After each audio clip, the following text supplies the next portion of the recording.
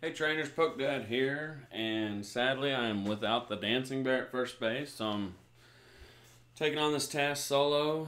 Um, and yeah, here on Pokemon Deck Check, I've got a deck profile of something that we've been working on for a little while. Um, we got news that uh, a really good deck, innovative deck from uh, Japan uh, this past weekend it won a cup, and so we're able to convert it to uh, our standard.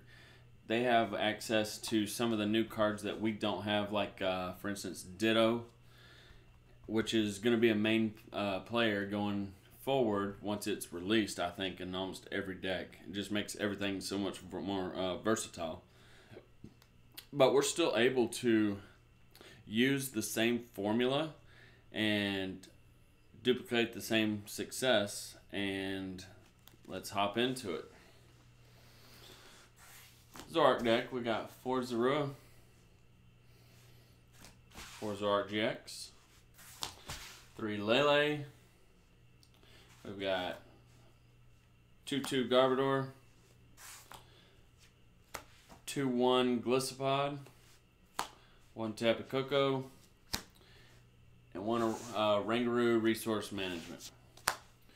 Um, we're extremely limited on our options for draw support, and so your safest bet is to play the nice consistency engine of Zoroark. I mean, that's really it, it's with the format right now, especially uh, fighting taking a little bit of a hit, and by hit, what we're factoring is is they're probably not gonna be able to one shot Zoroark GX unless they sledgehammer with uh, you just having four prizes left.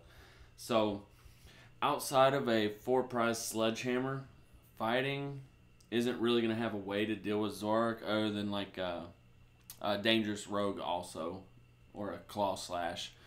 But building three energies on uh, a Lycanroc is going to be tough unless you look towards playing the new Zygarde Lycanroc idea, which plays DCE and then it's just two attachments. Special energy is going to be a huge factor going forward.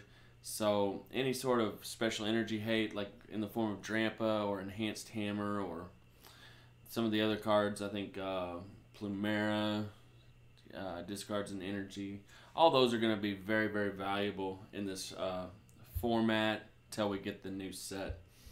So, like I said, we got the 4-4 Zoroark. We got three Lele. Um, like I said, we're limited on draw support, so when we do need a draw supporter, we've got the Lele to just go ahead and grab it.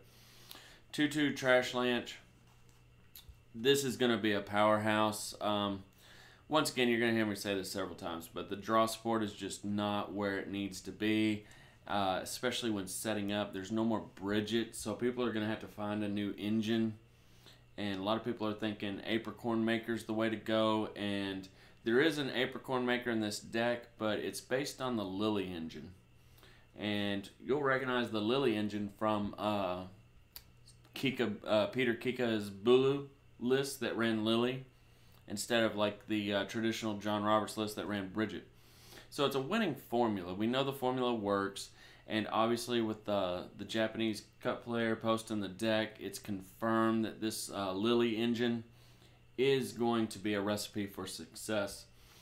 But you're still going to play a heavy count of uh, Nest Ball, Timer Ball, Mysterious Treasures, and of course the Ultra Ball. So Trashalanche is going to be really, really good in this format. It's going to add up super, super quick. 2-1 Golisopod. Uh, this is going to be able to deal with Trashalanche. It can one-shot it fairly easily, so that's why he's uh, really good. This second Wimpod should be a Ditto, but like I said, it hasn't come out for us, uh, and it won't till, I think, October or maybe even November it comes out. And so that would become Ditto, and then you're able to use it as a third Trubbish, a fifth Zorua, or uh, the second Wimpod. So a lot of versatility, but for now, 2-1 on the Golisopod line. Koko, uh, free retreater. You gotta have a free retreater so you can move switch in and, out, and it helps Gliscopod, obviously, synergy there. It also helps up the numbers with Zoroark. When you can spread that 20, then he's able to hit, you know, 170 with a choice band with the uh, 20 spread, or he's able to get in uh, one shot range of the baby Buzzwoles and stuff like that. So, definitely, definitely good stuff with the Koko, mainly for free retreat.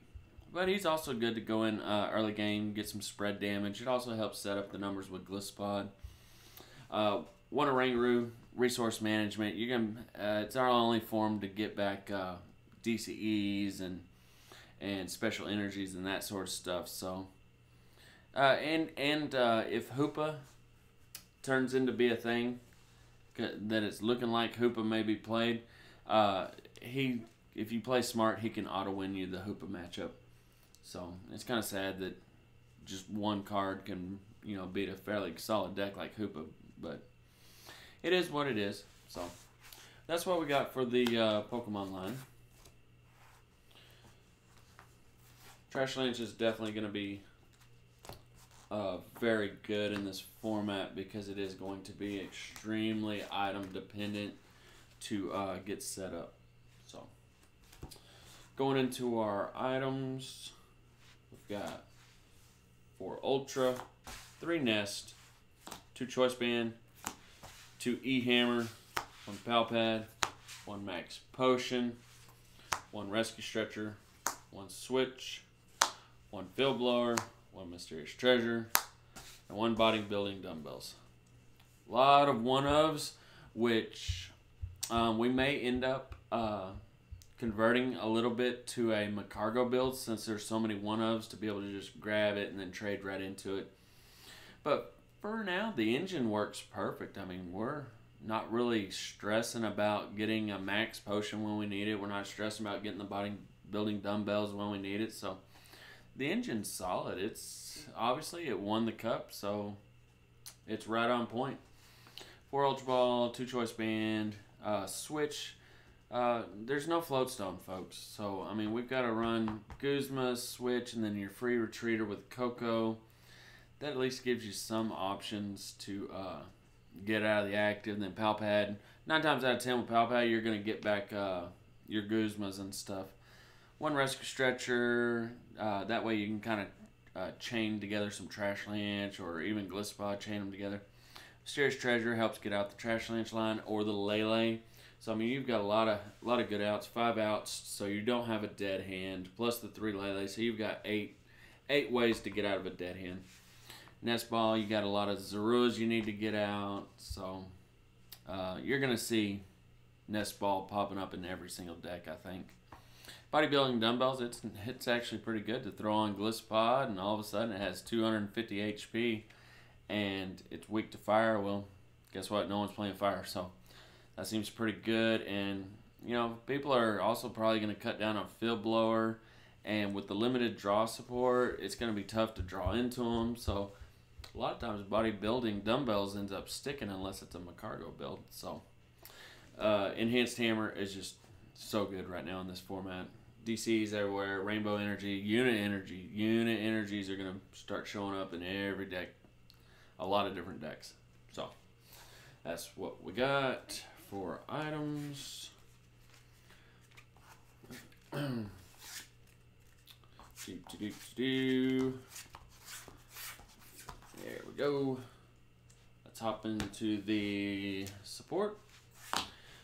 Three Cynthia, three Lilybells, three Guzma, one Mallow, one Judge, one Acerola, one Apricorn. This, um, I was thinking about cutting this and then possibly uh, something else for a 1-1 Magcargo line, but bench space can be an issue, especially if uh, with Koko on there, and then you're wanting Zoroark and maybe Trashalanche.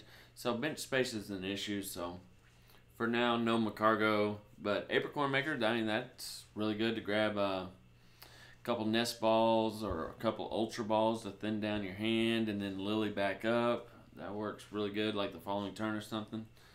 Um, three Guzma. That's your best way to switch in and out.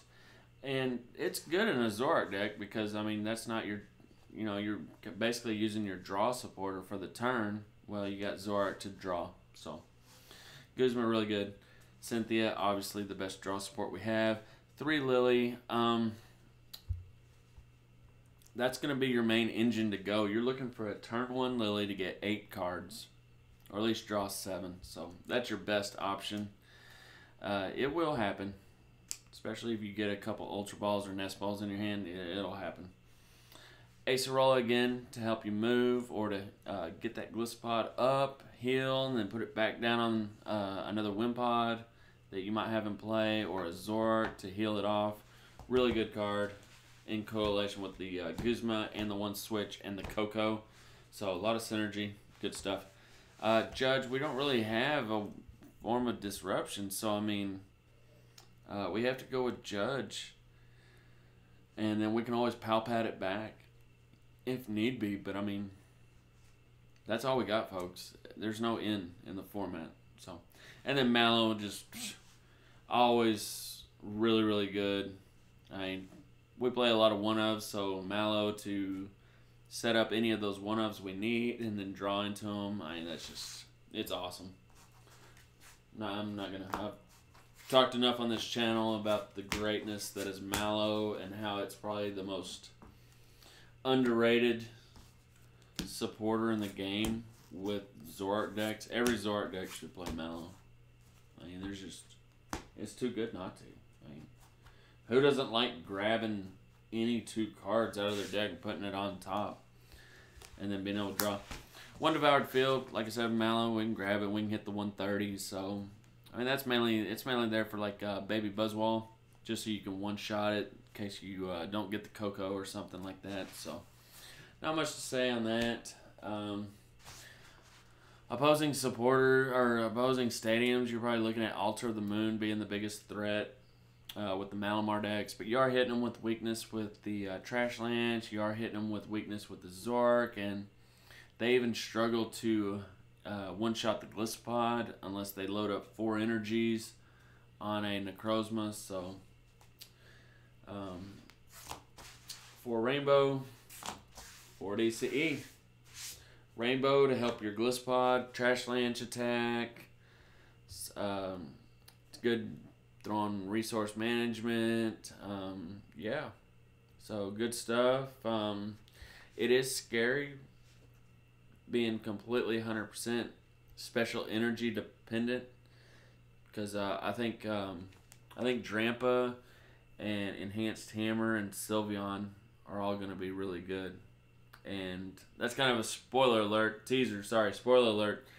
We've got a special Zoroark deck that is all about uh, energy removal. It, it's kind of like uh, the Zoro control decks that we saw from the ARG. It, it's very similar to those. It runs the Magcargo line, it runs Drampa and stuff like that, and it's 100% focused on destroying special energy in this heavy, heavy, heavy energy, uh, special energy reliant format. So, but deck's really good. Check it out, and uh, it's a winning formula. You know, everyone's stressing: should we play Lillie Engine? Should we play Apricorn Maker? Well, the fortunately the Japanese players have done all the heavy lifting. Uh, they've basically instructed us to go the the Lillie route. That's the winning formula. And so in our testing it's been 100% accurate. So that's what we're going to go with. I do like apricorn maker just the one of in several decks. It just it seems really good especially when you can grab two timer balls uh, since we don't have Evosoda, so that's kind of why i like it in some decks versus others. But yeah try it out and until next time be excellent to each other and party on dudes